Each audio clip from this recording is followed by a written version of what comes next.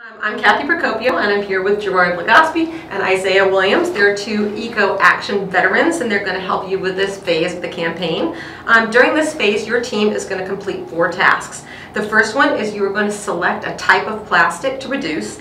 The second is you're going to establish a measurement of your baseline. Um, that's the starting point for the plastics you want to reduce. The third is you're going to select an audience to involve in your campaign. And the fourth is you're going to create a SMART goal for your campaign.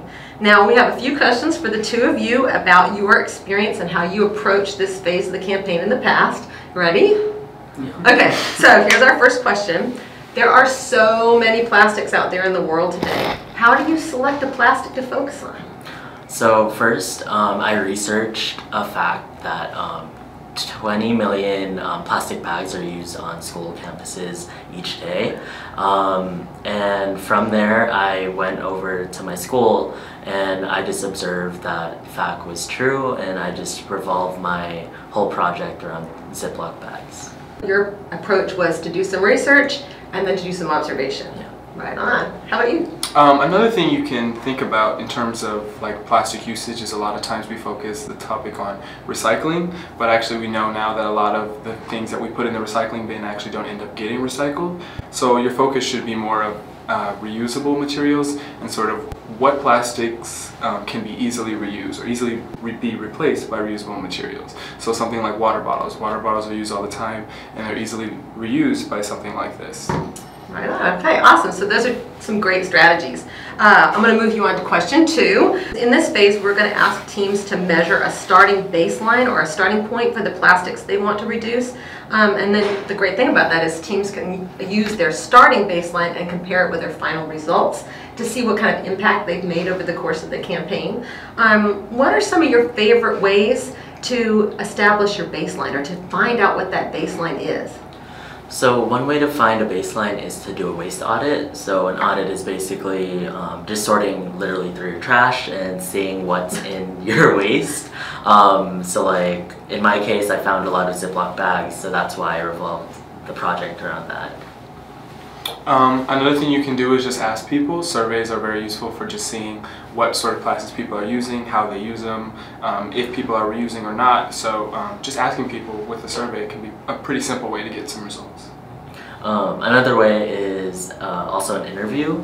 So let's say you want to focus on a product that your cafeteria uses a lot, say like sports or even um, ketchup packets. You can interview a cafeteria worker on campus to see um, ways you can reduce that product. Um, and then the tried and true way is to just do some research online and see like what people are using, what different corporations have been using in terms of their plastic usage, and there's a lot of resources online to get a lot of information. That's great. So I hear you say audit, like audit the trash, do some surveys, do some interviews, or just go straight to the old internet. All right, awesome. Thanks, guys. Um, so our third question is um, to maximize a team's impact, we're going to ask those teams to reach out and involve an audience, and that could either be the student body at their school, it could be community members, um, it could be a business, or it could even be policymakers like city government. How did you decide what type of audience to focus on? So um, first you want to find out who controls um, the product that you want to reduce. So say you want to reduce Ziploc bags, you want to reach out to parents because primarily they would yeah. be controlling what's in the students' lunches, especially in like elementary school and middle school.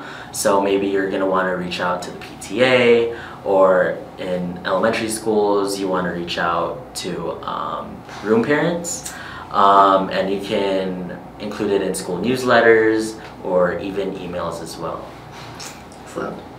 Yeah, and along those same lines, uh, one of the things you sort of want to look at is sort of who can get things done, and not just sort of the everyday people who are doing the plastic usage, sort of who can change that. And so one of the a good um, technique is just talking to the school board because they're the people who can actually make real change like quickly and um, the most effectively. So one of the things you can do is if you're trying to get rid of vending machines on campus, if you talk to the school board, you can replace those vending machines with hydration stations. So um, I think those resources are sort of the most useful and most effective. And you had a lot of experience with that. Right. You put hydration, many, how many? two hydration stations in my uh, high school. Nice. Okay, so here's our last question, which is um, we're going to ask our teams to uh, create a plastic reduction, reduction SMART goal. And a SMART goal, that acronym, it just stands for specific, measurable, actionable, and actionable is just a fancy way of saying it, it lists the actions you're going to take, it's results focused, and it's time bound. So there's going to be a deadline written into your um, SMART goal for when you're going to complete your, your project. Um, can you guys tell us about one of your SMART goals that you've written for an eco project and then how you developed that SMART goal? Yeah, so um, this is a SMART goal we had for a waste campaign that we did recently. So by March 11, create a video that educates consumers about the impacts of food waste and include information on how to dispose of organics responsibly. Share the video on the city's website and urge five local businesses to incorporate organic waste in their waste disposal systems. Nice, very thorough.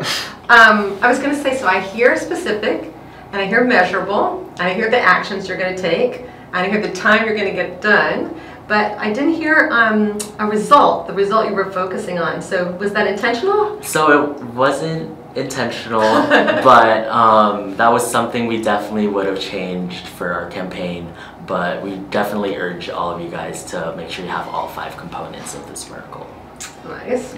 Okay. And can you tell us a little bit about how you developed the goal?